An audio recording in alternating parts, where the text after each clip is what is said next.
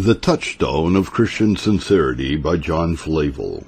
Revelation 3 verses 17 and 18, Because thou sayest, I am rich, and increased with goods, and have need of nothing, and knowest not that thou art wretched and miserable, and poor, and blind, and naked. I counsel thee to buy of me gold tried in the fire, that thou mayest be rich. Many professors of religion are under very great and dangerous mistakes in regard to their character. Section 1. All flattery, and especially self-flattery, is criminal and injurious. But self-flattery in regard to the concerns of salvation is to the last degree dangerous and destructive. To persuade ourselves or endeavor to persuade others that we possess goodness of which we are in reality destitute is shameful and ruinous dissimulation. But of this, Laodiceans and self-deceivers in every age are guilty. My present design is not to shake the well-founded hopes of any man, or to excite unreasonable apprehensions, but to discover the radical and fatal defects in the basis of many men's expectations of future happiness. Men must judge of their religion by examining its foundation. If that fails, the superstructure is perishable and worthless. There is a laudable spirit of caution cherished by saints, which makes them sensible to the danger of self-deception, and renders them watchful and circumspect. There is also a culpable anxiety and fear tending only to gloom and despondency, to which they sometimes give way. By the former they are guarded against evil, by the latter they deprive themselves of inward peace. Sometimes good men, indulging groundless fears of hypocrisy, are blind to the clearest evidences of their gracious state but more frequently the merely formal, regardless of consequences, close their eyes upon the proofs of their guilt and jeopardy. This is an evil in regard to both, but less hazardous in one case than in the other. For he that doesn't see his own graces and realizes not his privileges deprives himself of quiet and enjoyment for a short time, whereas he that shuts his eyes against the evidences of his sin and condemnation procures the endless destruction of his soul. I shall endeavor in this chapter to make it evident that among professors of religion, many are deceived, to assign the causes of their deception and to make such inferences and reflections as the subject suggests. Section 2. That many professors of religion are deceived is evident, number one, from the fact that there are more professors than converts. There are many professors of religion who are Christians only by education, who have grown as it were up into the church, but who have never been translated out of the kingdom of darkness into the kingdom of Christ. Others have been induced by the influence of custom, by slavish fear, by ambition, or by more unworthy motives to profess Christianity. Now all such deceive themselves, and while they accelerate their eternal ruin, they greatly increase its aggravations. Let them reflect that to appear in the view of men like Christians is one thing. To be Christians indeed in the sight of God is quite another. For except a man be born of the Spirit, he cannot enter the kingdom of heaven. Number two, many professors practice only an outward compliance with the commands of God. They know nothing of that inward vital religion which is seated in the affections of the heart which subdues its sinful propensities and purifies its desires. But what will their external conformity avail? Or what is it but a miserable imitation of that which lives in good men and prepares them for heaven? Surely it can have no better effect than to fit them at last to accuse and condemn themselves. Certain it is that there are many professors of this class who, like Jehu, take no heed to walk in the way of the Lord God of Israel with their heart who deceive themselves or endeavor to deceive others, and who will sooner or later receive the fearful reward of their doings. Number three, that many professors are self-deluded appears from the circumstance that in severe trials numbers fall away. They are removed from their steadfastness as dry leaves are carried away by a tempest. They go out from us that it may be made manifest that they were not of us. When tribulation or persecution arises because of the word, they are quickly offended. Had they been told at first that their professions and zeal would terminate thus, Probably their reply would have been like that of Hazael to the man of God, What is thy servant a dog that he should do this thing? Alas, how unlike is their brilliant and hopeful morning to their dark and gloomy evening. These professors have more of the moon than of the sun. They have little light, little heat, but many changes. Number four, another proof that there are numerous false professors is that many secretly indulge some beloved lust, which like a worm at the root cripples and kills them. Such persons may have excellent gifts and perform various and difficult duties, but pampering one lust or allowing one secret sin will destroy them. To cut off a right hand, or pluck out a right eye, to deny themselves and forsake all for Christ, requires such heart religion as they do not possess. They study to exhibit a become an exterior deportment. They refrain from open impieties and visibly conform to their profession and hence they acquire great confidence and display themselves with much assurance. But they secretly love and practice iniquity. They cherish some known sin, and thus flatter and deceive and ruin their souls. Number five. Those professors of religion who are unaccustomed to the daily practice of secret devotion constitute not a small part of the multitude who are deceived. There are many who attend the public ordinances of religion, and who either statedly or occasionally engage in social worship with the family, but whose religion does not lead them to the closet, nor incline them to any unobserved intercourse with heaven. These people call themselves children of God, but their piety comprises nothing so personal or particular, nothing which so much distinguishes them from the heedless world, which renders the hope of salvation so interesting as to give them a relish for prayer, devout meditation, and secret communion with God. They shrink from the idea of retiring by themselves and laying their hearts open to that invisible being, that holy God whom they profess to love and to worship. They contrive therefore to forget their secret, if not all their sins, to be unconscious of their wants and to impose on themselves by substituting casual outward formality for that godliness which is a promise of the life to come. Reader, if your heart were right with God, and you did not cheat yourself with a vain profession, you would have frequent occasions for the peculiar duties of the closet, which you would conceal from your familiar friend. Charity vaunts not itself. True piety can by no means entirely lay itself open to the eyes of men. Public actions and appearance may support its credit, but secret exercises must maintain its life and supply its purest enjoyment. Number six, there are many professors who never made religion their chief concern, and who, therefore, though they have a name to live, are dead in sin. While there are those who give themselves to the Lord, whose conversation and treasure is in heaven, the end of whose life is Christ, who give religion the precedence both in their affections and their time, and who are constant and unwearied in the service of God. There are also professors whose religion engrosses not their attention and occupies little of their time. So far from being the chief object of their solicitude, it is treated as if anything else was more important. And when they pretend to engage in it, their thoughts and hearts are somewhere else. It is not their design, in attending to the duties of religion, to honor or to have fellowship with God to become conformed to his law, to have their unholy propensities subdued, or the genuineness of their piety tried. They pray as if they prayed not, and hear as if they heard not. And if they derive no benefit from ordinances, if they acquire no animation from their discharge of duties, they are not disappointed, for they anticipated no such effects. From these considerations, it is sufficiently manifest that many professors of religion deceive themselves in regard to their real character. Section 3. There are four principal causes of the delusion and dissimulation of false professors. Number one, the deceitfulness of the heart. The hearts of such men and of all the impenitent are deceitful above all things and desperately wicked.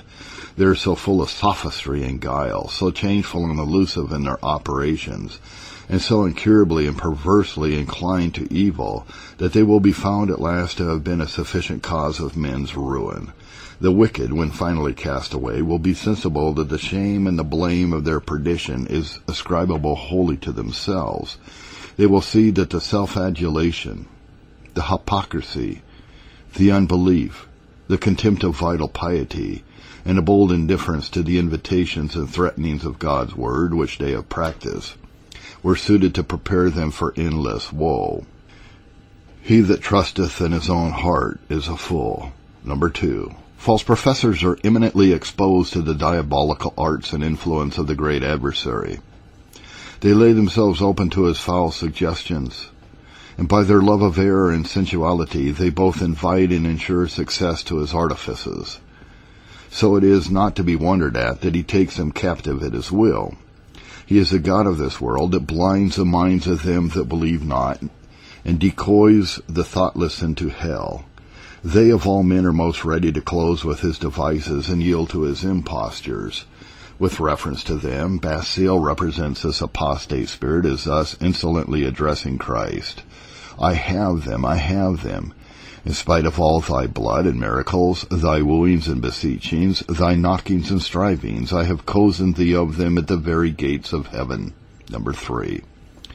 The effects wrought in many unregenerate professors. The excitements of feeling, the raptures of fancy, the bliss of ideal safety, the pleasure of living as they list, without obscuring their prospects or disturbing their consciences, greatly increase and confirm their delusions. They do not distinguish between the operations and fruits of the Spirit of God and the sanctification of men, and the effects of error, of ignorance, of stupidity, of enthusiasm, or of diabolical influence. Their own experience is the standard by which they judge of themselves, and that not unfrequently is such as to dazzle and infatuate them. They are ready to say, I am rich and increased with goods and have need of nothing. Among those who are deceived in this way, some assume the office of religious teachers. Let them consider the words of him by whom teachers must be judged. Many will say to me in that day, Lord, Lord, have we not prophesied in thy name, and in thy name done many wonderful works? To whom the judge will say, Depart from me, I never knew you. Number four, the practice of comparing themselves with others is a cause of deception among many. Thus the Pharisees, by trusting in themselves that they were righteous and despising others, kept up a high opinion of their own merit. They elevated themselves by depressing those over whom they affected a superiority. Some false professors mentioned by Paul, measuring themselves by themselves, and comparing themselves among themselves, proved that they were as deluded as they were foolish. Instead of making one man or one set of men a test for the trial of another, God has established His Word as the only standard of character, and by this those who are saints indeed form an opinion of themselves. But many false professors want a more lax and indefinite rule. They choose to compare themselves with characters that are in some respects subject to reproach. They are sharp-sighted to observe other men's faults as they are their own supposed excellencies. They contemplate the failings of others with pity or derision, and their own doings with admiration. They bless themselves when they behold the impieties of the wicked. God, I thank thee that I am not as other men are. A Christian may and ought to praise God that he has been made by grace to differ from some other men, but he cannot rake together the enormities of the worst characters or the infirmities of the best in order to justify and applaud himself as these pharisaical deceivers do. Such are some of the causes of that general delusion and imposture under which so many bow down and perish. Section 4. Let me caution you to beware of inferring from what has been said that all professors of religion are deceivers, and that there is no truth or integrity in any man. This would be, with intolerable arrogance, to affect the prerogative of God, and with desperate severity to judge the hearts of men.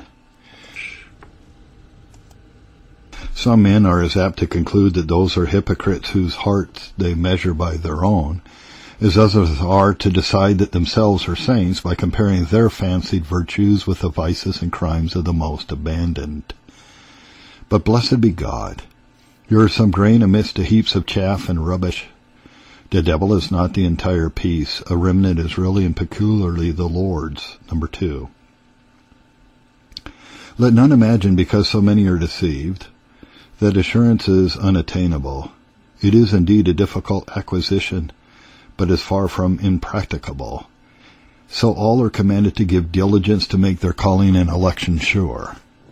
Number three, I warn you not to conceal the truths of God or the graces of His Spirit, nor to be deterred from openly professing them, because many deceive themselves and others by a vain profession. Ought you to hide what you have because another pretends to what he has not?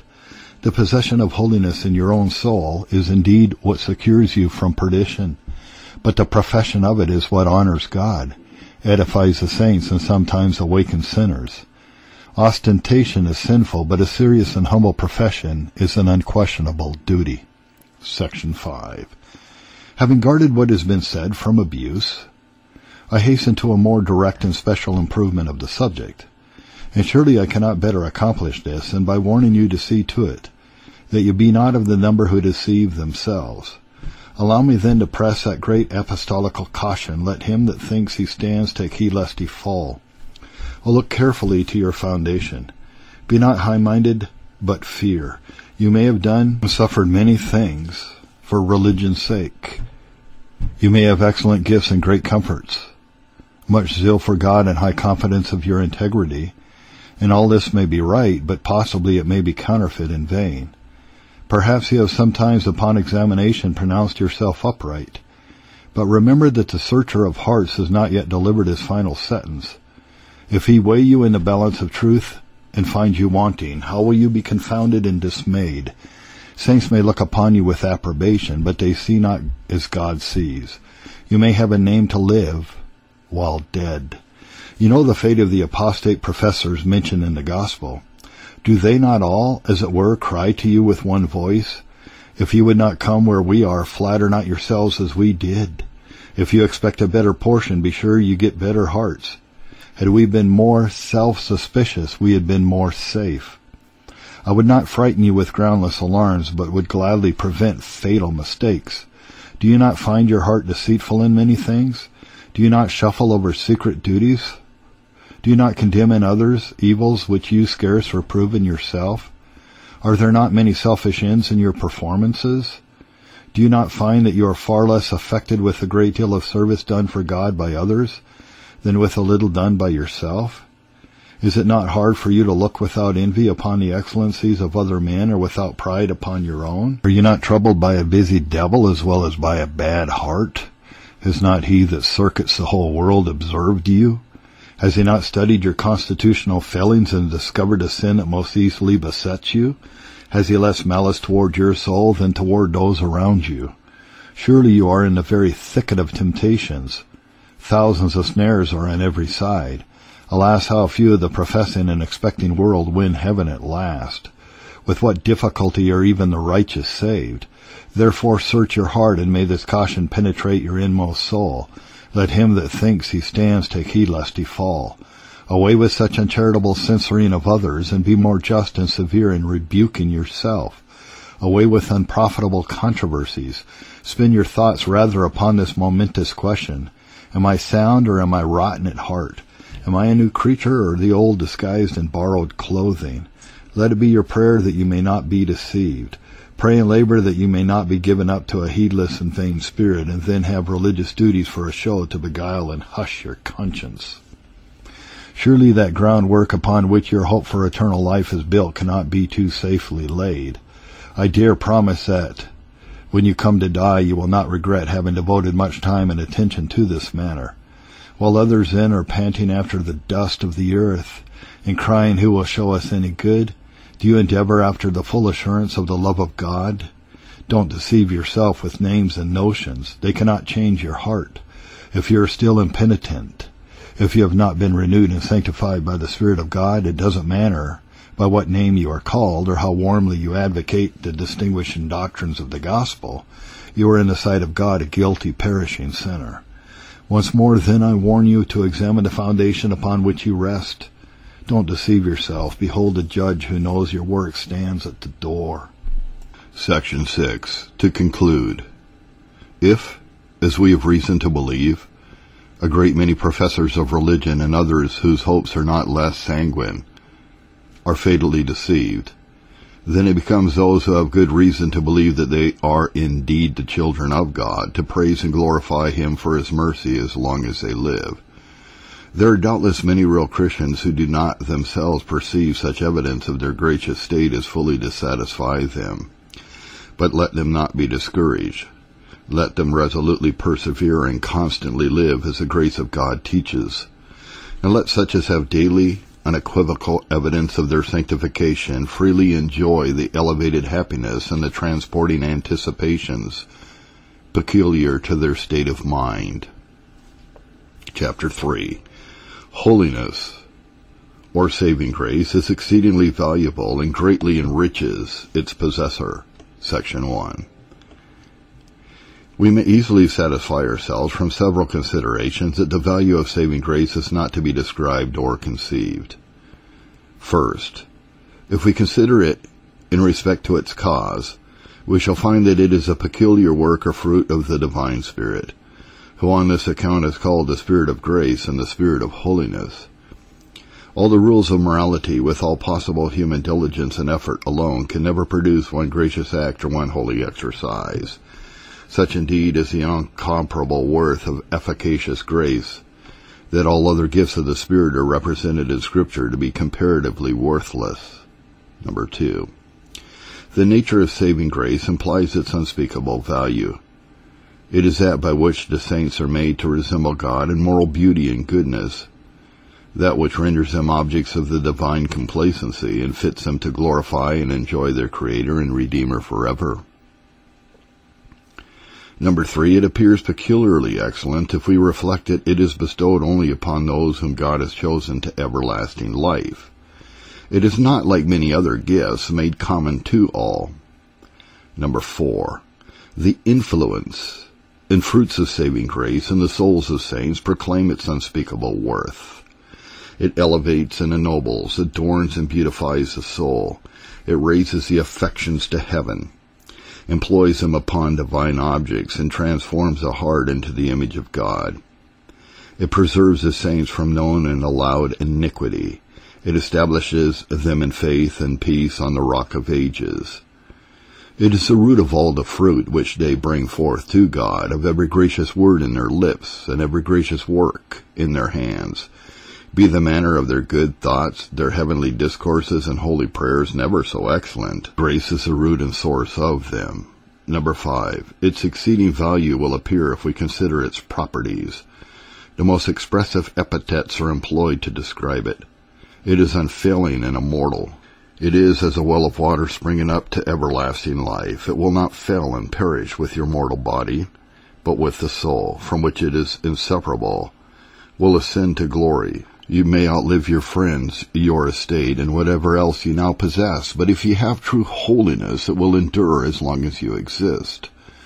Number six, nor is its value less conspicuous in the design with which it is wrought in us by the Holy Spirit, to purify us from all iniquity, to free us from imperfection, and to render us meet for the heavenly inheritance, for the service and enjoyment of God above.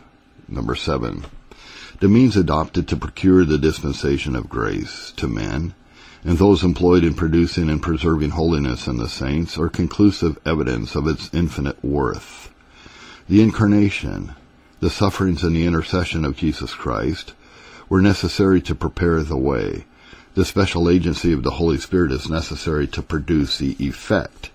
The ordinances and institutions of the gospel were first appointed and have been continued in order that holiness might be produced and preserved in the hearts of saints. Nay, the ordinary dispensations of providence are designed in some way to subserve this purpose. Number eight, the peculiar regard vouchsafed by the Most High God to every degree, every exercise, and every fruit of holiness in His people demonstrates its unspeakable importance and worth. He who made the jewel best knows its value. Number nine, that holiness is most excellent and desirable is shown by the hypocritical pretenses made to it all over the professing world. If it did not confer some singular advantage, why should men pant for the reputation of possessing it? But so it is that the devil himself conceals many of his lures and hooks of temptation with a show of grace, knowing as he does that sin has nothing beautiful or winning in itself by which to entice, he disguises it under a pretense of goodness. Let hypocrites and self-deceivers consider what they shall answer at last when it is demanded, If grace were evil, why did you so affect the reputation of it? If good, why did you content yourself with the empty name of it? Number 10. In a word, the incomparable value of saving grace is manifested by the esteem which all good men have for it. Holiness is the sum of their prayers, the scope of their endeavors, the substance of their joys, the relief of their afflictions and sufferings. It constitutes their riches and their glory. Section 2. Is saving grace thus valuable and precious? Beware ye who possess it, lest your heart should be elated with spiritual pride you have need often to reflect on your former state of sin and condemnation, and on your present ill desert and imperfection, to consider how and by whom you have been made to differ from them that perish, to ask what you have that you have not received, to feel your weakness, your dependence, and your obligations and to remember that it is the nature of holiness to render men humble and lowly in heart and life. Number two, is holiness more excellent than gold? Well then may the poorest Christian be content with the allotments of providence. Ye who are destitute of this world's goods, but rich in faith, and heirs of the kingdom which God has promised. Ye who feel the rigors of temporal poverty, but who have treasures in heaven. Think of your imperishable wealth, and neither thirst for an earthly portion, nor murmur at temporary wants.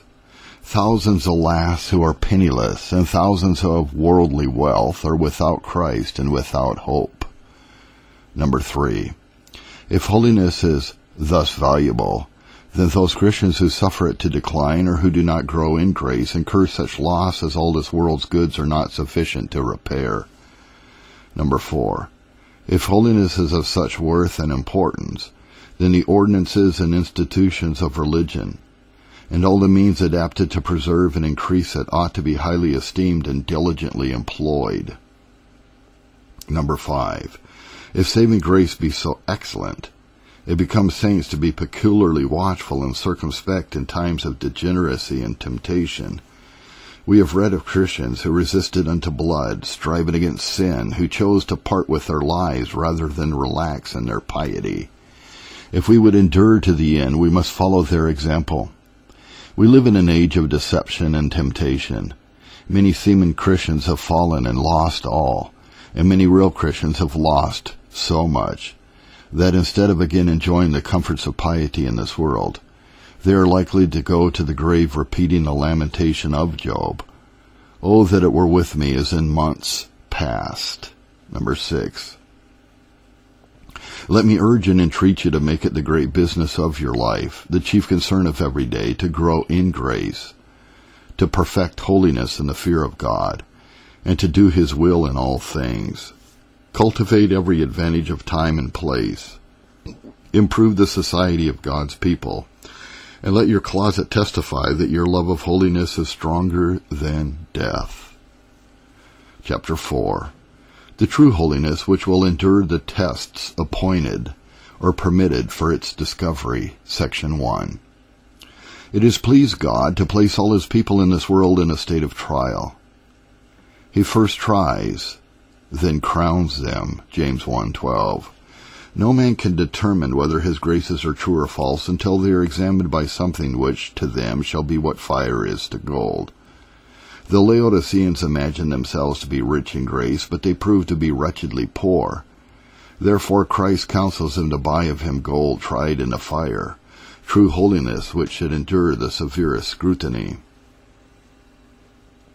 The scriptures plainly recognize the trial of men's opinions as well as of their graces. But of the former I shall have occasion to say little. Doubtless men may endanger and obstruct their salvation by unscriptural sentiments, yet if they have holiness of heart, Notwithstanding some false opinions, they shall be saved, though it be as by fire. But if they are devoid of holiness, the most correct speculation will avail them nothing. They must perish and perish without remedy. The trial of a man's graces or religious affections is all important. As they are, so is his safety and happiness, and so his prospect for eternity. This trial may be considered in two respects. Number one, as it is to be performed by ourselves. Examine yourselves whether you be in the faith. Prove your own selves. Scrutinize your hearts in the light of divine truth. Ascertain and demonstrate whether your affections are holy. Number two, as it is executed by him who searches the heart and judges according to truth. With a view to both these kinds of trials, but especially the former, I propose in this treatise first, to show what tries the genuineness of Christian graces as fire tries gold. Number two, to exhibit the ends for which God appoints such trials of the holiness of his people in this world. Number three, to prove that such only is true holiness as will bear these trials. Number four, to improve and apply the whole. Section two. Before I enter into particulars, it seems needful to observe that the subject to which we are approaching is full of difficulties. Without much cautious discrimination and solicitude with regard to the various and dissimilar capacities and attainments and circumstances of different Christians, one could hope to do little else but confuse and mislead. Nor is less care necessary in the application of tests or signs. They should be well examined and approved before we try ourselves or others by them. Signs or tests of character are by some distinguished as exclusive, inclusive, and positive. Exclusive marks serve to shut out bold pretenders by showing them that they are utterly devoid of a saving work of grace. They are commonly taken from some indispensable ordinary duty as praying or bearing, which men may indeed perform and yet have no degree of holiness, but the neglect of which demonstrates a total absence of any work of grace. Inclusive marks serve to discover the degree rather than the existence of holiness, and are intended for comfort rather than conviction. If we perceive them in ourselves, we shall find not only real but imminent piety, as they arise from the higher exercises of grace in confirmed and mature Christians. Between these are marks or evidences called positive, which are always found in those, and those only who have been regenerated. And the application of these great care is requisite, since they relate as well to the feeblest as to the most advanced Christian. It is especially necessary to be aware of representing the particular exercises or experience of those who are esteemed eminent in knowledge and grace, as a rule for those whose attainments are small. This practice is justly reprobated for its absurdity and its injurious effects. These things being premised, I will now proceed to show what things in particular try the temper and state of our souls. What tries the genuineness of Christian graces as fire tries gold. It is true that all the circumstances of our life, every event which has relation to us, may make some discovery of our hearts, but some limits must be prescribed to this treatise. I shall therefore show, in the following order, what trials are made of our graces by prosperity and adversity, by our inward corruptions or active duties, and lastly by our sufferings on account of religion. Section 3. Prosperity, worldly success, outward enjoyments, riches, honors, try men's hearts and reveal their thoughts.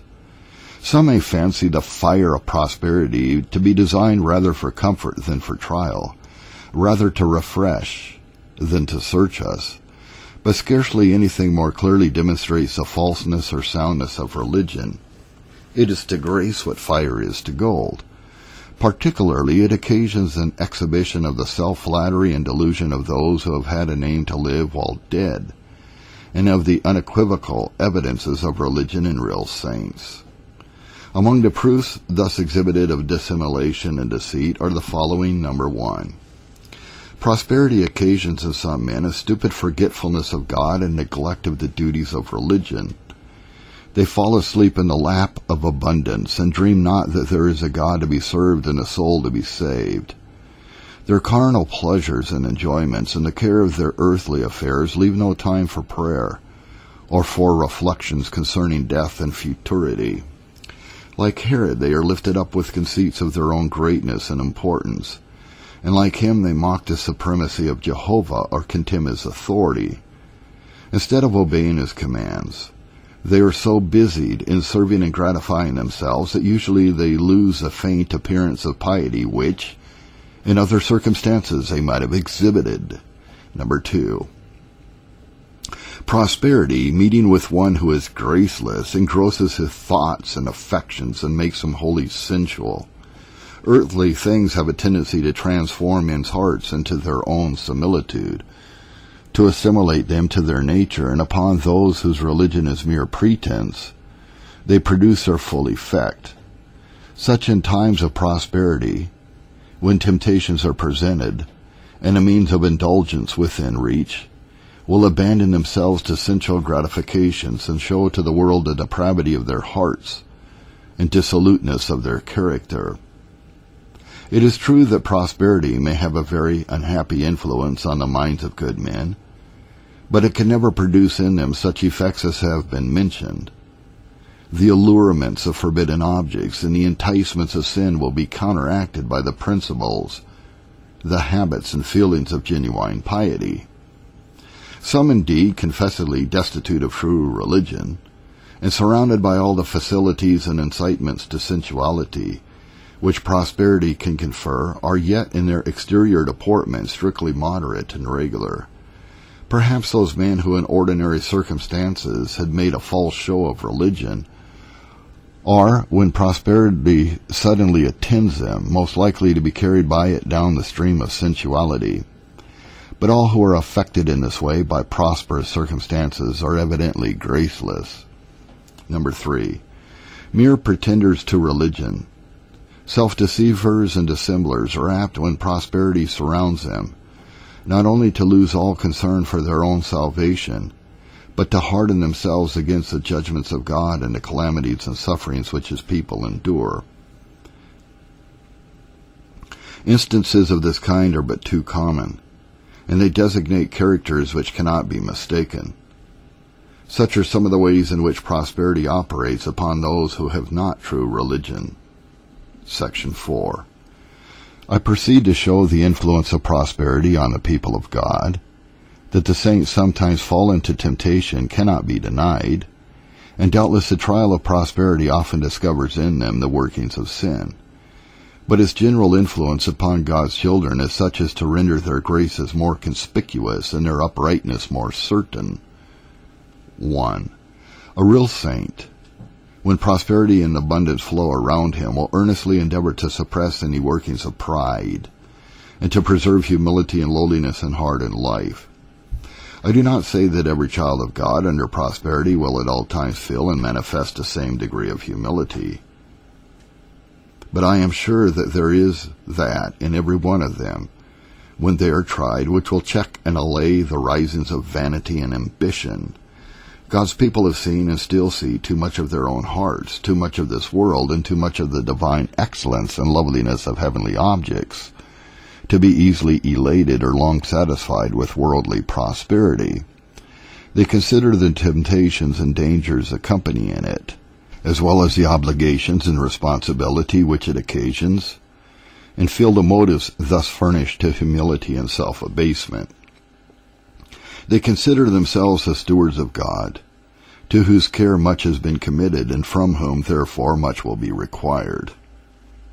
Number two, prosperity excites the lowering gratitude of the saints to God, the author of their mercies, while it inflames the sinner's lust that fills the good man's heart with benevolent and grateful affections. Not that these outward things are the primary reasons or motives of his love to God. Far from it. He loves him when he takes them away as well as when he bestows them. But God sanctifies prosperity to his people, makes it conducive to their spiritual welfare and subservient to their usefulness in the world.